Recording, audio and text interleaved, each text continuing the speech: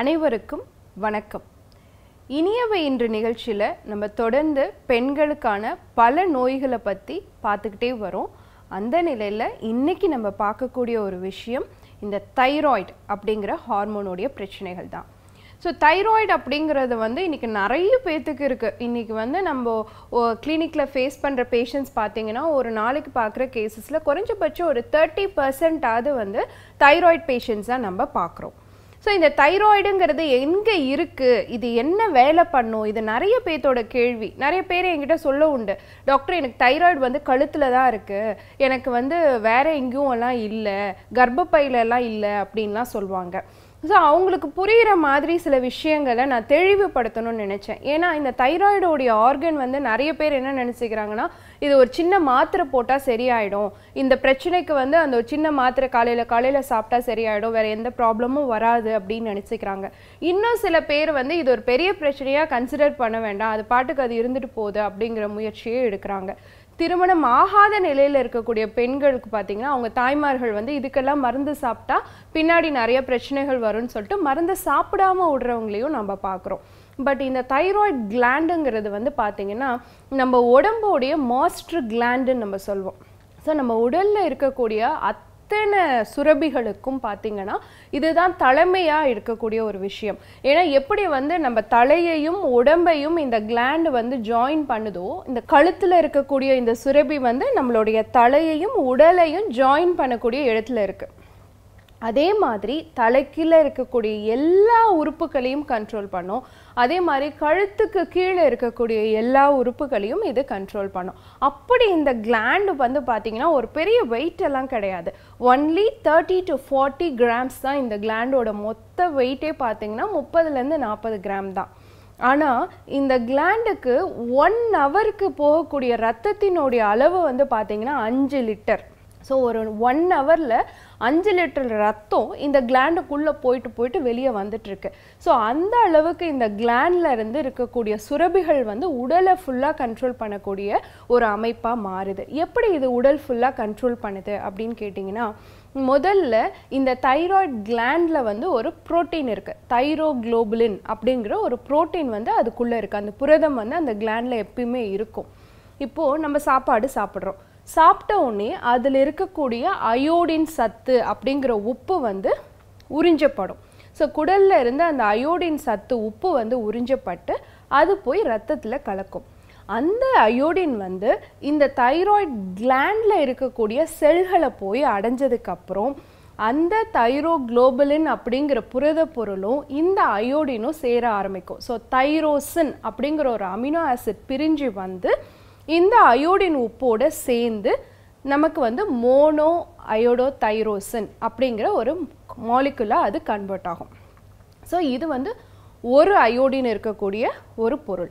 இது தொடர்ந்து ரத்தத்தில் மாறி மாறி மாறி நமக்கு வந்து டி த்ரீ டி ஃபோர் அப்படின்னு சொல்லக்கூடிய tri iodo tyrosine tetra iodo tyrosine அப்படிங்கிற பொருளாக கன்வெர்ட் ஆகுது. அதை தான் நம்ம டி த்ரீ டி ஃபோர் அப்படின்னு சொல்கிறோம் ஸோ இந்த கிளாண்ட் நல்ல வேலை செய்யணும்னு வச்சுக்கோங்களேன்.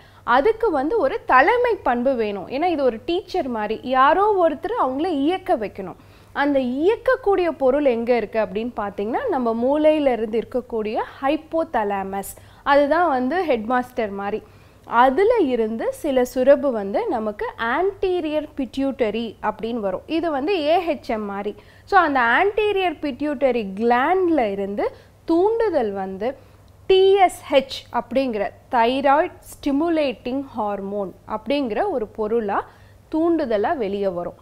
அது போய் இந்த கிளாண்டை ஸ்டிமுலேட் பண்ணி நமக்கு டி த்ரீ டி ஃபோராக சுரக்க வைக்குது. ஸோ ஹைப்போதலாமஸ்லேருந்து பிட்யூட்டரியிலேருந்து நம்ம தைராய்ட் கிளாண்டுக்கு கமெண்ட் வருது. உடனே என்ன பண்ணும்? இந்த தைராய்ட் கிளாண்ட் வந்து டி த்ரீ டி ஃபோருங்கிற ஹார்மோனை வந்து ரிலீஸ் பண்ணும். அது போய் ரத்தத்தில் கலக்கும். அது ரத்தத்தில் பல உறுப்புகளுக்கு ட்ராவல் பண்ணி போகும். அதில் முக்கியமான ஒரு உறுப்பு அப்படின்னு எடுத்துக்கிட்டோம் அப்படின்னு சொன்னால் நம்மளுடைய கருப்பை. ஸோ கருப்பையோடைய இயங்கு நிலை கருப்பையில் இருக்கக்கூடிய அந்த எண்டோமெட்ரியல் திக்கனிங் மாதம் மாதம் பீரியட்ஸ் வெளியே வரக்கூடிய ஒரு நிலையை நல்ல அதிகமாக கண்ட்ரோல் பண்ணக்கூடிய ஒரு பவர் வந்து இந்த டி த்ரீ டி ஃபோர்னு சொல்லக்கூடிய தைராய்டு ஹார்மோனுக்கு உண்டு. ஸோ ஒருத்தருக்கு இர்ரெகுலர் பீரியட்ஸ் இருக்குது அப்படின்னு சொன்னால் நிச்சயமாக நம்ம இந்த டி த்ரீ டி ஃபோர் ஹார்மோனோடைய லெவல்ஸ் எப்படி இருக்குது அப்படிங்கிறத பார்க்கணும். இது மட்டும்தான் அதுக்கான வேலையா அப்படின்னு பார்த்தீங்கன்னா உங்களுடைய ஹார்ட்டில் இருக்கக்கூடிய பேஸ் மேக்கர்னு நம்ம சொல்லுவோம் அந்த பாயிண்ட்டை டைரக்டாக கண்ட்ரோல் பண்ணக்கூடிய பவர் இந்த தைராய்டு ஹார்மோனுக்கு உண்டு.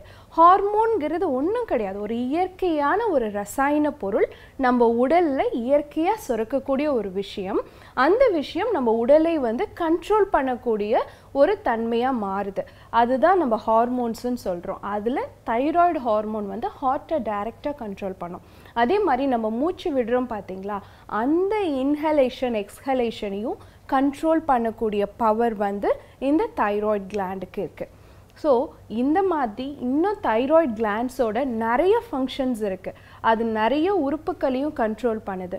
நம்ம உடல் ஆரோக்கியம் சம்மந்தமான பல விஷயங்களை கண்ட்ரோல் பண்ணுறதுனால தான் தைராய்டை கண்டிப்பாக நம்ம கவனிச்சுக்கணும் அப்படின்னு நம்ம சொல்கிறோம் ஸோ அப்படி இருக்கும் பொழுது இந்த தைராய்டை வந்து நாங்கள் நல்லபடியாக கண்ட்ரோல் பண்ணிக்கணும். வீட்டில் இருந்தபடியே இது நல்லபடியாக செயல்படுறதுக்கு நாங்கள் என்ன பண்ணலாம் அப்படின்னு சொல்லி கேட்டிங்கன்னா நார்மலாக உடலினுடைய சூட்டை கண்ட்ரோல் பண்ணக்கூடிய ஒரு தன்மை இருந்தாலே இதை நம்ம சீக்கிரம் சரி பண்ணிடலாம்.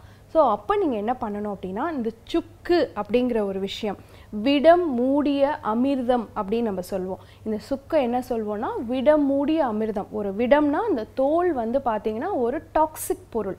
அந்த விடம்ங்கிற விஷயம் உள்ளுக்குள்ளே இருக்க அமிர்தத்தை மூடி இருக்கு அந்த சுக்குங்கிற உள்ளே இருக்கிற பொருள் இருக்குது பார்த்தீங்களா அந்த தோலுக்கு அடியில் இருக்கக்கூடிய அந்த சதைப்பற்று வந்து ஒரு அமிர்தத்துக்கு இணையாக சொல்லப்படுது.